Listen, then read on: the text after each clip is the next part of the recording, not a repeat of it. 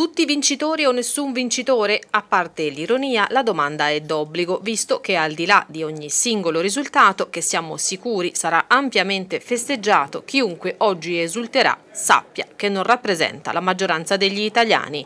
In Italia per le elezioni europee la percentuale dei votanti non supera il 50% degli aventi diritto. Nel nostro paese ha votato il 49,69%, se comprendiamo il voto all'estero la percentuale del 48,21%, il record più negativo di sempre. Nella circoscrizione che comprende la Toscana e quindi l'Aretino è andata un po' meglio, l'affluenza è stata del 52,53%. Sul fronte del dato politico, nella nostra regione è invertito rispetto a quello nazionale. In Italia il primo partito è Fratelli d'Italia, secondo il Partito Democratico, in Toscana esattamente il contrario, ma la provincia di Arezzo si conferma invece spostata a destra con Fratelli d'Italia, primo partito con il 32,04%, secondo il PD con il 29,47% unico feudo del Partito Democratico, il Valdarno.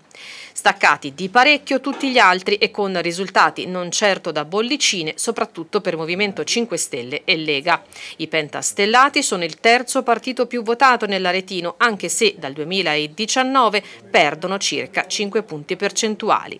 Il quarto è Forza Italia con il 7,15, il tonfo più forte indubbiamente per la Lega. Il partito del Carroccio in 5 anni passa dal 35,89 0,9% al 6,22%. In questo dato non c'è evidentemente l'effetto Vannacci. Il generale ha sì staccato il biglietto per Bruxelles con mezzo milione di preferenze, in Toscana oltre 34.000, ma il suo partito perde tanti voti. E poi c'è l'exploit di Alleanza Verdi a sinistra, spicca l'elezione di Ilaria Salis. In Toscana il partito raggiunge il 7,55%, nell'Aretino il 5,65%.